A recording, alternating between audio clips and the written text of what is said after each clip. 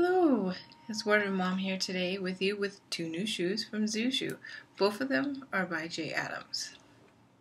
The first shoe I have here is this great Western style booty with a fringe style here and a low block heel. This is a more of a rounder toe than most Western style booties and boots out there, but it does have a bit of a point, not too much, but enough to be comfortable in. This shoe was a little tight in here, but not too much. It was true to size, so I would wear maybe a thin sock with this rather than a thick one. But since it's a lower booty ankle, like right in here, then, uh, you know, no-show sock would work, and most of those are thin, so that works out. The fringe is just one strip. Most have like maybe two strips to make it a full fringe look, but this actually has a fuller fringe look if you can see. There's it makes it look like there's two straps of fringes here, but there actually is just one. It has a zipper here on the inside, so it's easy to be a pull-on booty. This one has great tread. It's very comfortable to walk in. It's very light. The heel is a great size. It has a great angle, if you can see. Some of them are just more of a square look, but here they cut it at an angle so it goes with your foot so it's a little easier to walk in. It's more of a plastic rubber heel so it's a little lighter when you're walking. I personally love the western look and I love the fringe look. I think it's very cute, it's very unique and it goes great with like a fringe purse or anything like that. I just think it's, you know, that's a little fun when you're walking. I have a couple um, shoes with some fringe on it, some with little tassels and stuff, and I think they're just super cute. These come in a couple other colors. There was a couple different shades of brown. There was a black, and I think there was a gray, and there was a cute maroon one that I was very excited about. I might get that one next. It was a little higher up in here, so there's different cuts. So um, if you look at the link that I will provide at the end of the video, you'll see the different cuts. This one, it was a little higher in this length, and they had it in black and red. And then they had the lower ankle ones here in different colors as well. But super cute, super comfortable, and definitely a great style to have in your collection.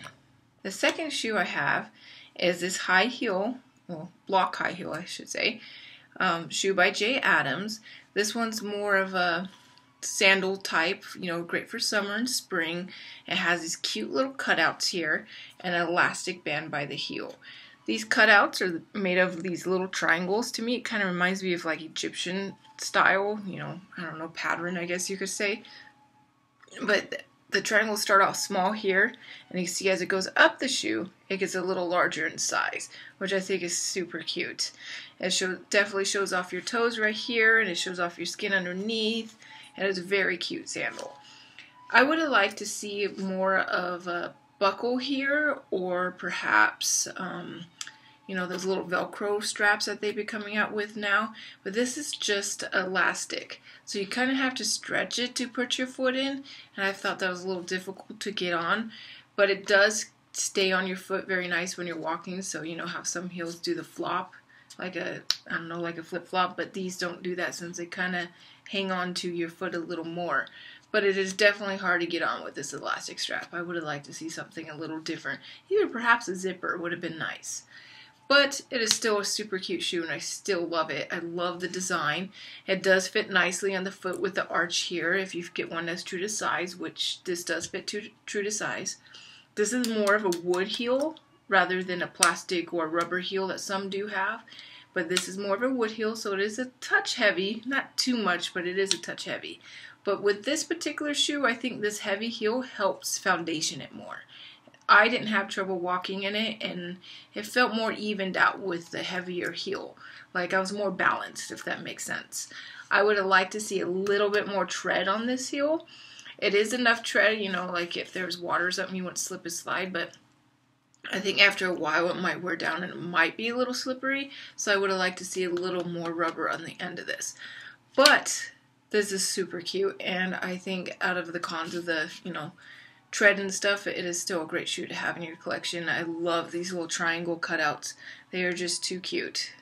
This also comes in a couple other colors. There's a black and a darker brown, and I can't remember if there's a gray or not, but I had to do the nudish color because that is in right now with the summer and with the spring that's up and stuff. So this will look definitely cute with dresses and skirts and even with capris and stuff, whatever you, you know, wear during the summer, definitely a cute sandal. Well, I hope you liked my video review on these two gray shoes from Zooshoo. And as always, I will include a link below if you're interested in either or of these shoes or both. And that way you can see the different colors they come in and the different, you know, styles and stuff like that. And if you liked the video, please subscribe and like so you can check out more great shoes from Zooshoo and other great styles and other videos I have to come. Thank you for watching. I hope to see you soon.